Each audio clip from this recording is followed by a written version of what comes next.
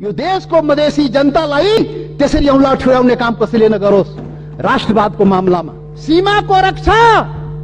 ने प्रत्येक मधेसी सेना भएर सीमाको रक्षा गरेको छ सभामुख महोदय।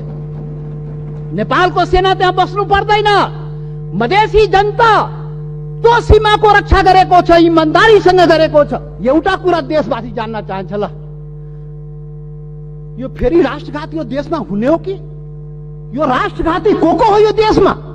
पहिचान गर्नु पर्यो। यो राष्ट्रघाती हो को को यो देशमा देश बेचुवाहरू को को हो। अरे देश बेचुवाको खोजी हुनुपर्ने नेपाली जनताले त्यो पनि खोजिरहेको छ। अरे त्यो त हाम्रो छँदै थियो नि त्यो जमिन। त्यो काला पानी लिपु लेक लिम्पुवा धोरा सहितको नक्सा त नेपालको नक्सामा त थियो।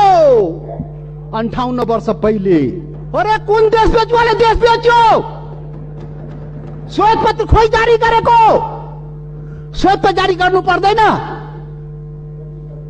टुडी खेलमा राष्ट्रघातले झुन्ड्याउनु पर्दैन। ढाकछोप गर्ने।